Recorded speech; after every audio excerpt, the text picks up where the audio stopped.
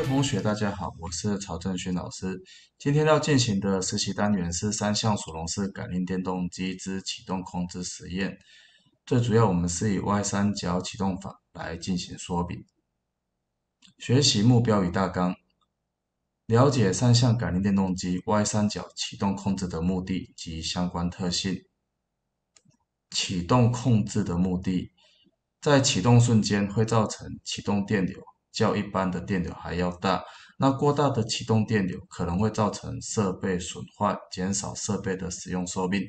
对于线路导线的线径，必须选用较大的线径与较大容量的过载保护装置，浪费购购置成本，并且过大的涌浪电流会干扰其他电气设备，造成供电系统不稳定。因此，对于中大型感应电动机，必须设法降低启动电流。依据屋内线路装置规则第一百六十二条的规定，对启动电流的限制如下表所示。在画面上是各种电压范围对启动电流的限制与规范，同学在自行参阅。属龙式转子启动控制的方法。属龙式转子一般我们是在定子侧做降压启动。那降压启动一般大致上有三种，第一种为电阻器或电抗器启动法，第二种为补偿器启动法，第三种为 Y 三角启动法。而我们今天的实验最主要是以 Y 三角启动法为主来进行说明。Y 三角启动的定子绕组接法，Y 三角启动法的接线图如下图。当电子绕组采用 Y 接线时，为降压启动；三角接线时为全压运转。在画面上的左边，三项电子绕组都采用 Y 接。那同学由图中可以得知，采用 Y 接的话，它的电子每项电压 Vp 会等于电源电压 VL 的根号三分之一倍。也就是说，我们做 Y 接启动的时候，是将电源电压降根号三倍。那画面上的右边为三角接，由画面上我们可以得知，三项电子绕组都采用三角接。这时候电子绕组的相电压 Vp 会等于电源电压 VL，也就是全压运转。Y 三角启动的步骤与测量结果：步骤一，将三项感应电压调整器。磁粉式电力制动器、电力自动控制器与三项感应电动机完成机械结构之耦合，如右图所示。在进行这个实验的时候，我们需要使用到两个交流电压表 V1、V2，还有两个交流电流表 A1、A2，还有两组联动式开关 S1 跟 S2。那在画面上。我们先看到 S2 这一组联动开关，将 S2 闭合的话，同学们可以得知三项电子绕组的线尾 S Y Z 是连接在一起的。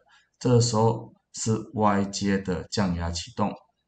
那当联动式开关 S1 闭合的时候，三项电子绕组的线头与线尾是呈现头尾连接，也就是三角接全压运转。那我们在进行这个实验的时候，最主要是要观察电流表 A1 线电流，也就是启动瞬间的电流变化。步骤二，投入三项电源，启动三项感应电动机。步骤三，调整电力自动控制器为电转矩模式，而且是在无载的情况下。步骤四，将开关 S1 断开。S2 闭合，这时候三项电子绕组都采用 Y 连接。这时候呢，我们要调整电力自动控制器的转矩到零牛顿米，也就是无载状态，并且呢，把电压调整到额定电压。此时我们打开，把这个电源开关打开，也就是将电源切除。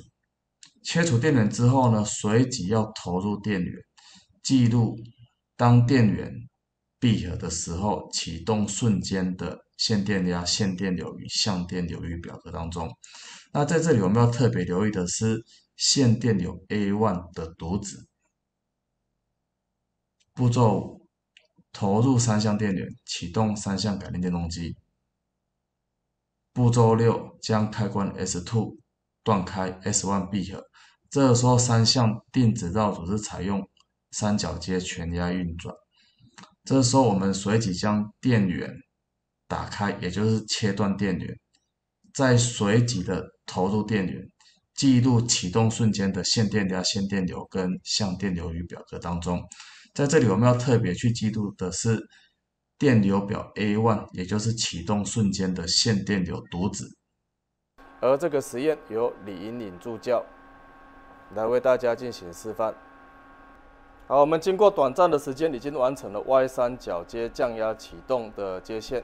其中，我们要先将电力自动控制器的摇头开关指向 M 处，也就是定转矩控制模式，而且是在无载的情况下，也就是零牛顿米的情况下所进行的试验。好，接下来再看到画面上左边这一组切换开关，这个是三角接全压运转时候的切换开关。当我把这个切换开关置于暗处，这时候定子绕组它会它的接法是三角连接。好，接下来右边这一组切换开关，这组切换开关是 Y 接降压启动时的切换开关。当我把切换开关置于暗处，这时候三相定子绕组会呈现 Y 接线。那同学要特别留意的是，这两组开关不可以同时置于暗处，否则电源会短路。好，接下来看到右边这一组交流电压表跟电流表读子所代表的意义。上面这个电压表所代表的读子是线电压，这个电流表的读子代表的是线电流。这两个读子分别是电路图的 V1 以及 A1。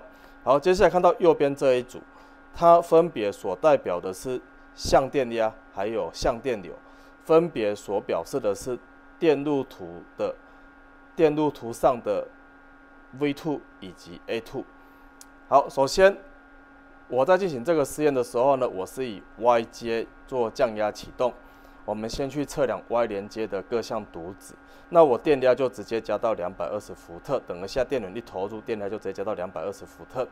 那由于呢，今天我们进行这个实验的电压表以及电流表，它的灵敏度不够，没有办法很精准的判断出启动电流的大小。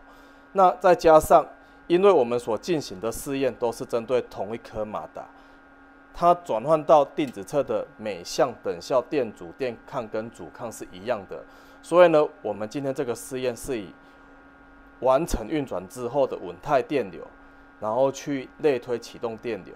那为什么可以这样做？因为我们都是针对同一颗马达，它的等效电路是一致的，所以我们借由稳态电流的大小去验证，当我进行 Y 接降压启动时的线电流是不是三角接全压运转时线电流的三分之一倍。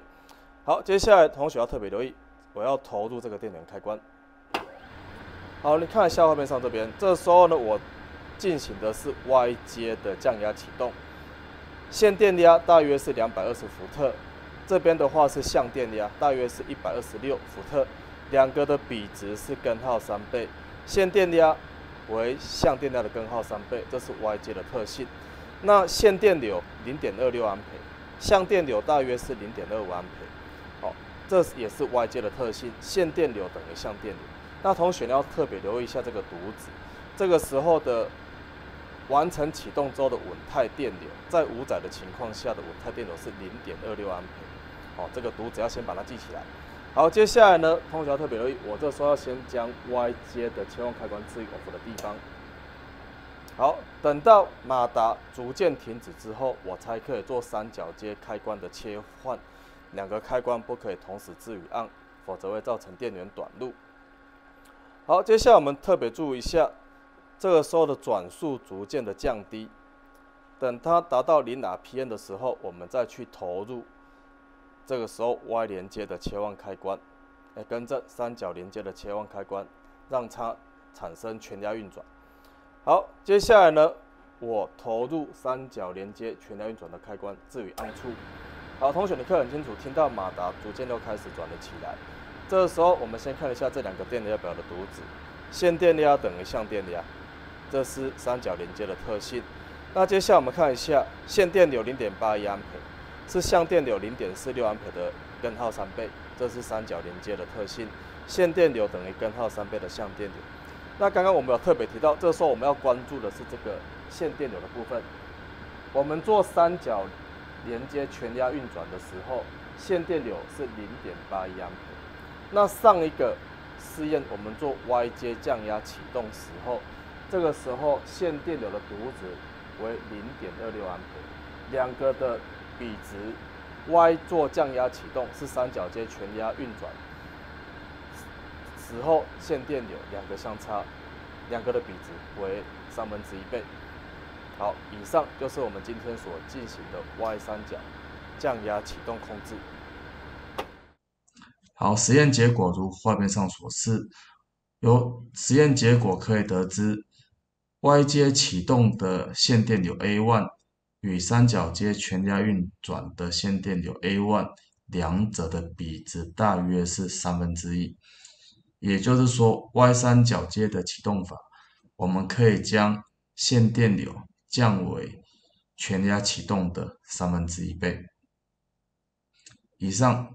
Y 三角启动法的实验到这里告一个段落，感谢各位同学收看。参考资料如画面上所示。